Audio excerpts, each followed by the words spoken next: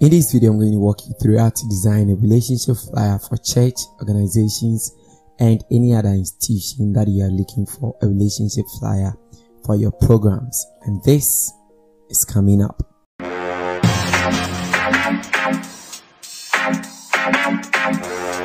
Hello everybody and welcome to the channel once again. Thank you so much for clicking on this video. If you're new here, please hit on the subscribe button to subscribe if you're old here. Thank you so much for coming back again. So as usual, here are some resources that I gathered. I'll put a link to download all of these in the description so you can follow suit. And without any further ado, let's jump into the magic world of Photoshop. So here in Photoshop, I'm going to design this for social media. So I'm going to file and then new, and I'm going to create a new document. I'm going to use the 4 by 4 inches with a resolution of 300 and I'll go ahead and I'll click OK. So here I'm going to apply my first thing that is the gradient overlay. So I'll go to the gradient overlay here and I've already set my gradient so I'll scroll down and I have my gradient over here and that is it. So I'll go to OK and I'm not going to do any other thing from here aside changing the style to radial. So I'll click here and change the style to radial and then I'll reverse it. Once this is done, I'll go to my resources and I'm going to pick my first resource over here, which is the ribbons that I got from Google. So I'll place them over here and I'm going to transform it. So I'll hold control and then shift and I'll transform this a little bit like that and I'll position it at the top right over here.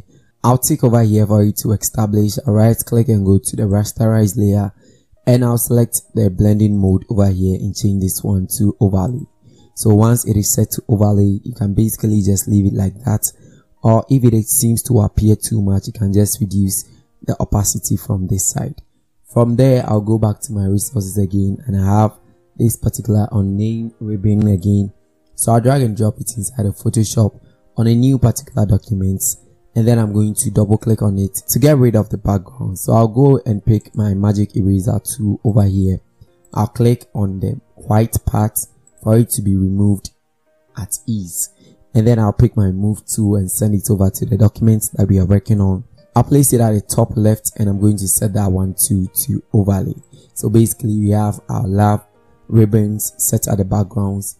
I'll just get rid of this one because I don't need it again okay so from here i'll go back to the resources and i have this wallpaper that i downloaded from google as well so i'll bring it inside of photoshop and then i'm going to double click on this one to unlock it i'll press c for the crop and i'm going to crop this side out because we're going to get rid of the background so i'll take over here and then i'll go for my magic eraser tool we're going to get rid of the white backgrounds but because this is kind of a 3d we're not be able to get all the backgrounds. So we just uh, left click. I'm going to get rid of these white backgrounds. You try to get rid of as many as possible that you can get rid and then you zoom in and then you can get rid of all these ones from here like that. So once you're done, you choose your move tool and then you can move it to the project that we are working on and you position it right away. So like I said, you not be able to get rid of all the whites. But because you'll be lowering the opacity, it is just fine. So you press Ctrl T and you transform it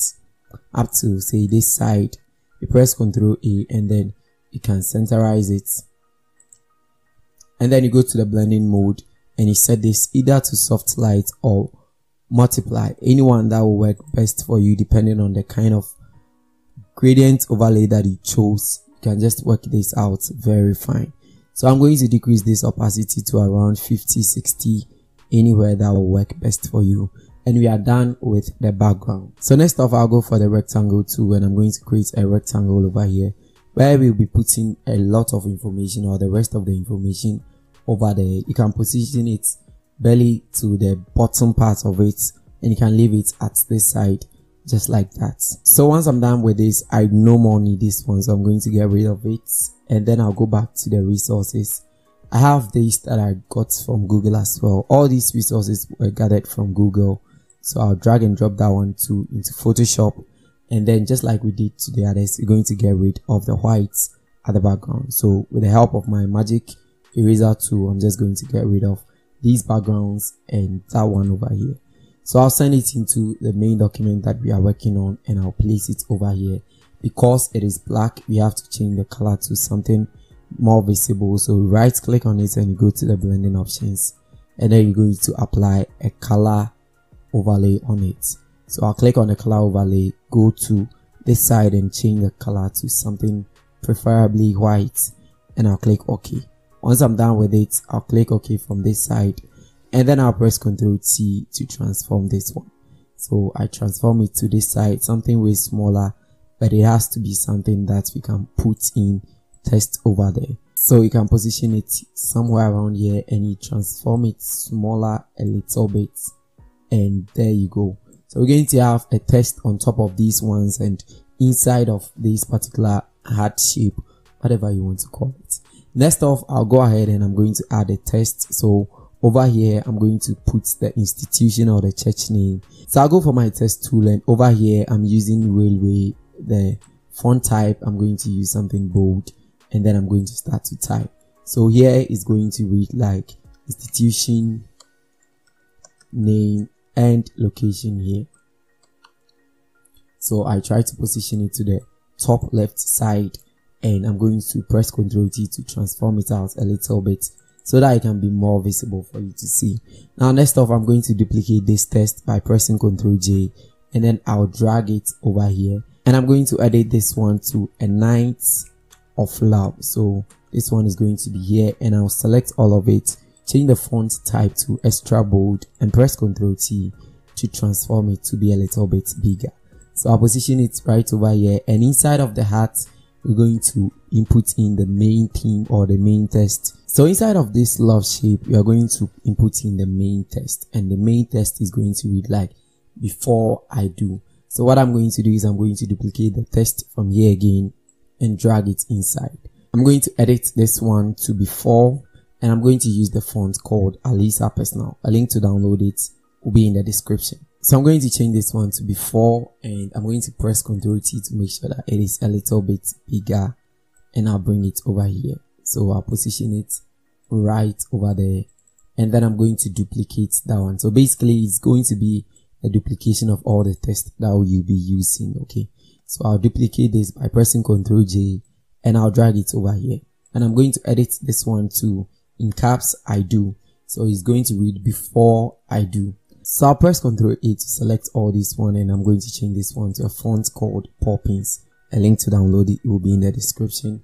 And then the font type or the boldness, I'm going to increase it to bold and I'll press Ctrl T to transform it. So it's going to read before I do blah blah blah a night of this and that. Something very basic and very simple like that will do I think. And then you take your time to position it over here. Once that is done, I'll go back to the before over here because that is something similar to the next test that we're going to apply on this one. So I'll duplicate that one and then I'll send it to the extreme right top over here. So I'm going to edit that one to something like ready for marriage. So something very simple. So ready for marriage.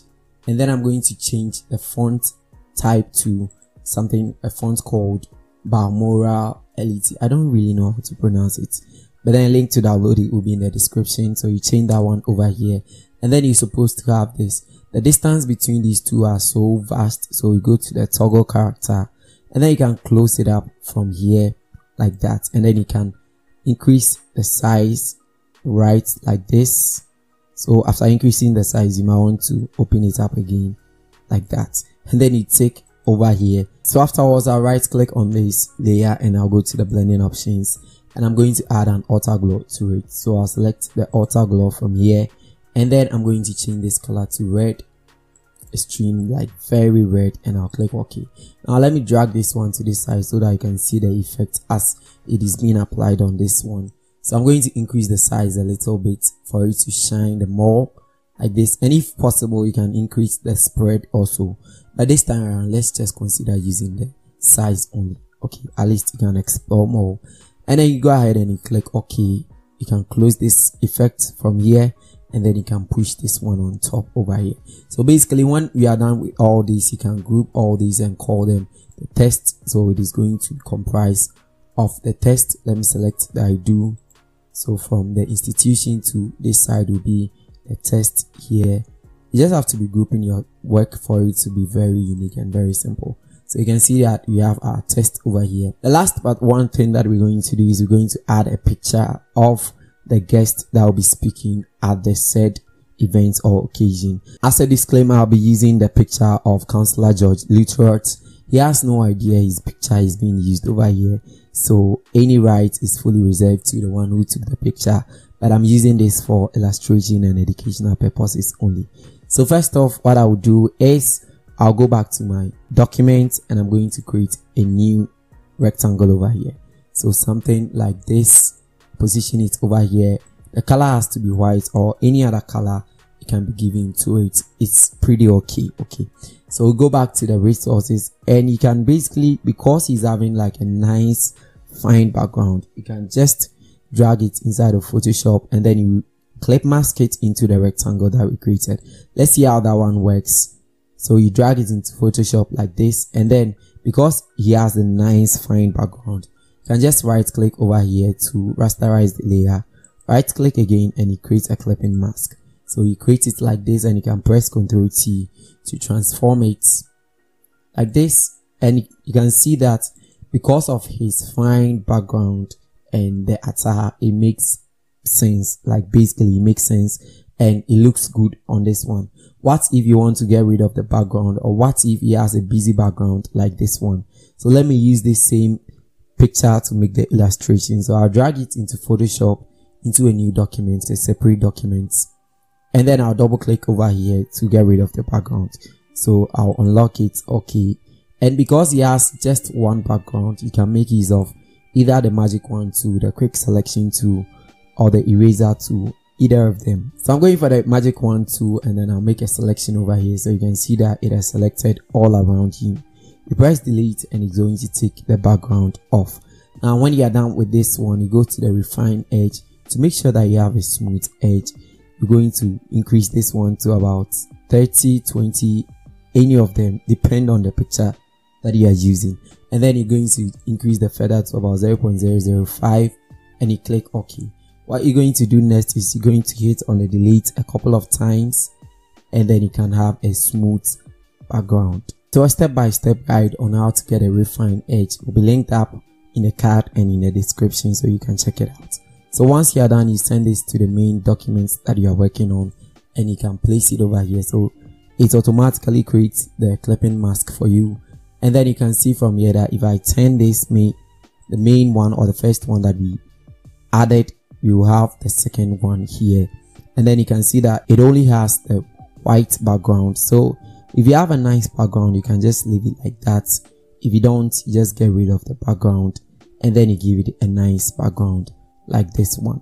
So next off i'm going to create a rectangle here. So i'll pick the rectangle too and i'm going to create a very nice rectangle. And that is going to contain the name of the guest that you are bringing on board so you can scale it around to the side and you change the color to this wine color over here and you click ok. So i'm going to paste the name because i've already copied it. So with councillor lutterodt so a night of love themed before i do with councillor lutterodt that is basically how it is going to read like and then you can position it over here. So you take your time to position it so lastly, what I'm going to do is I'm going to make a duplicate of this particular test and I'll send it on top of this rectangle. I'm going to double click over here to change the color and I'm going to use the dark wine here and I'll click OK. I'm going to increase the boldness to semi bold here and then I'm going to copy this test or this information that I have onto that one. So I'll make a duplicate or a copy of it by pressing Ctrl C come over here select it all and I'll press ctrl V to paste that one. And then I'll press ctrl T to transform it out to be a little bit bigger like this. And then I'll make a duplicate of it by pressing ctrl J so I'll send this one to this side the extreme right. And then I'm going to copy this second information that I have. So I'll copy that one and come on to this one press ctrl A and I'm going to paste that one. So from here I can shift this one to the extreme right a little bit so we have it over here and we are good to go so yeah basically that's it any other thing that we want to add to this will be out of your own creativity. Thank you so much for sticking around to watch this video. Please don't forget to like and subscribe and don't forget to check out the other tutorials, other flyer designs that we have on the channel. Once again, thank you so much and I'll see you guys in the next one. It's Innocent here and bye.